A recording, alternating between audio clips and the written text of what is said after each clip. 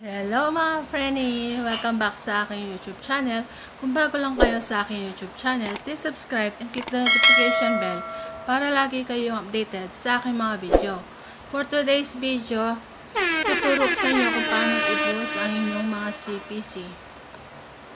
Other word, I will teach you how to increase your Google AdSense revenue. Ang saya-saya, di ba? Oh my God! Ito ang aking pinakamahalagang content. Ang ituro ang kung paano pataas ang inyong Google AdSense revenue. Handa na ba kayo? Panoorin nyo ang video na ito para matutunan nyo kung paano ang inyong gagawin para mapataas ang inyong CPC or Google AdSense revenue. Don't skip ha, para matutunan yung maigi. Just keep on watching.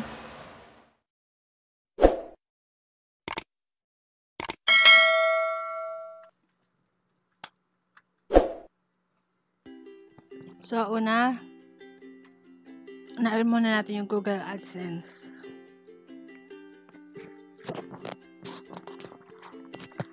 Tapos, sign in tayo.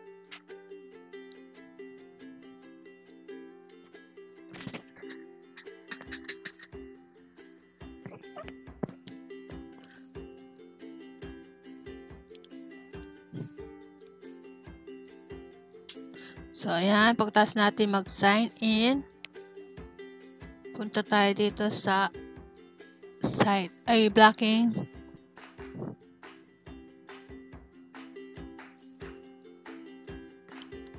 Controls. Tapos, pindutin ang all site. Tapos, punta tayo dito sa advertiser URL. So, ayan. So, yun yung mga binilak ko na na low CPC. Yun yung mga site. Search natin kung saan tayo makakita ng mga site na may low CPC.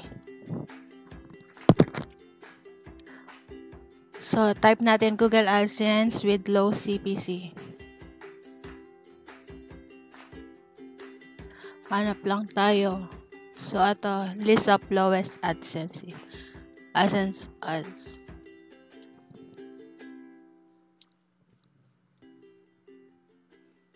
Pili lang tayo. Hindi ko na siya isi-save. Makikita nyo naman dito sa ano, sa Google. Masa-search nyo naman. Yung hindi lang natin makikita yung high CPC.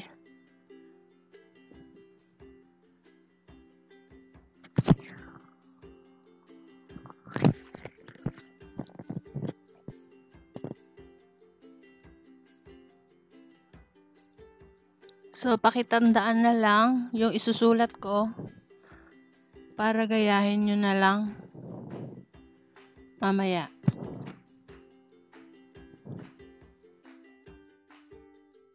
lang kung alin yung i-click ko para yun din ang gayahin nyo yung low CPC 2020 yan. So, ayan. Scroll lang natin pataas. Napin natin yung list. So, ito na. Low CPC AdSense List 2020.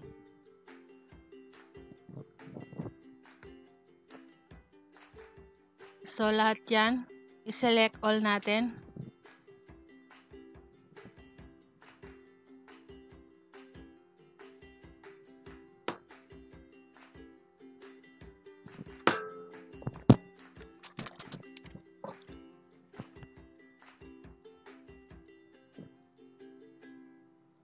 Tsaga-tsaga lang mga preni, ganun talaga para sa ikabubuti natin. sa ikas, itataas ng sweldo natin. Type natin yung notepad, search natin. Dito natin isi-save para madaling makita. Paste natin, then lagyan natin to ng kama isa-isa. Or meron site na nag kusa ayun ang tawag dito mayroon siyang site na kay team na kailangan mano-mano ipe-paste mo lang tapos may kiklik ka lang tapos nakakama na lahat copy mo lang ulit Tapos, ipipaste mo dun sa Google AdSense. Mamaya, papakita ko sa inyo.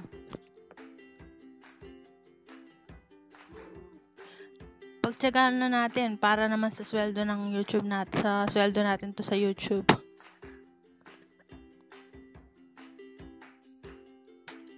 So, ayun, lagyan natin ng tanda or pangalan para pag binuksan ulit natin, alam natin balikan.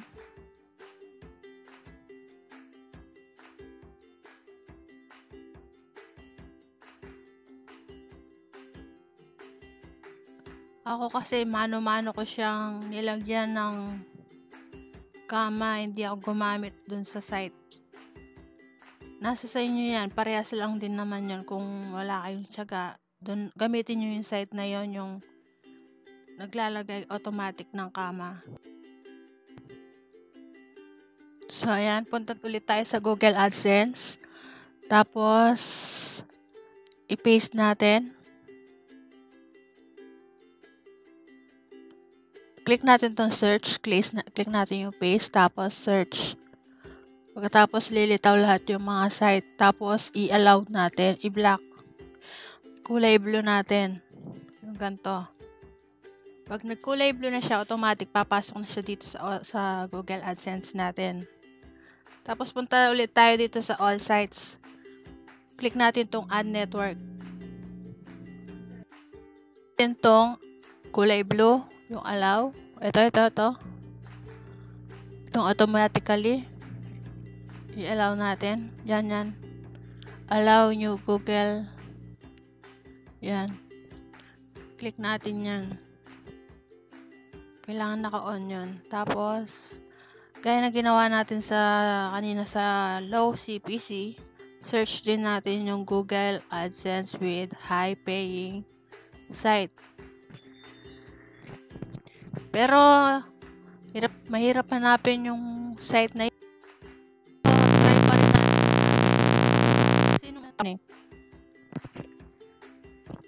Try ulit natin hanapin yung Google AdSense with high paying site.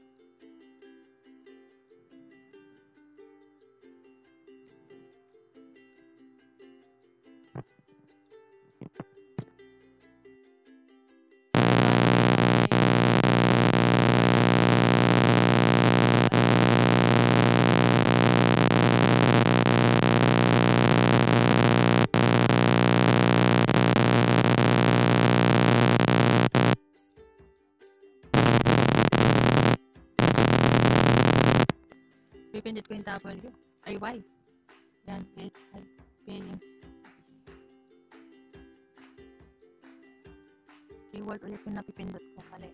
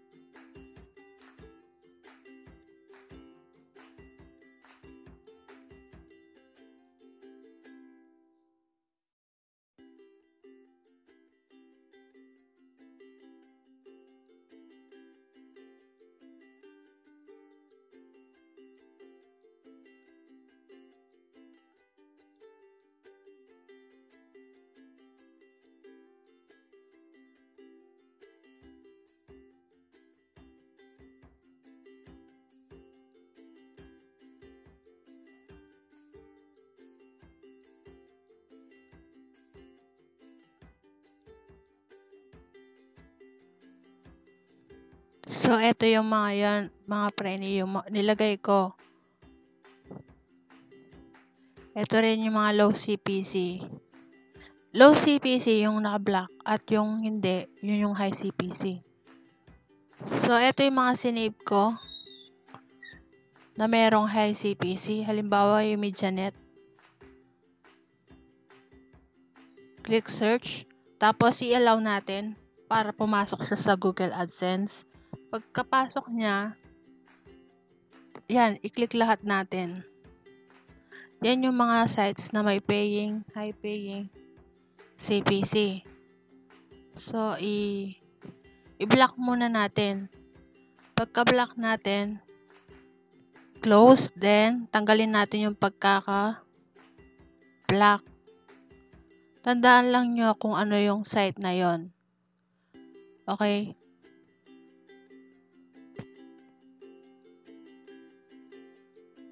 So, ayan na allowed na natin siya. Ito lahat yung mga high, C, high paying CPC na site. So, ito ipapakita ko sa inyo. Pakisulat na lang or paki-memorize. Kopyahin nyo lahat to tapos i-search nyo. Pa-isa-isa lang, hindi pwedeng lahatan. Isa-isa hindi gaya sa low CPC. Sa high CPC, pa isa-isa lang yung lagay. Isang site lang, ibig ko sabihin. So, ayan mga preni, kailangan sundin nyo ng maigi ang pinakita kong step kung paano gagawin na mapataas sa inyong CPC. So, ayan. Thank you for watching. See you on my next vlog. Bye!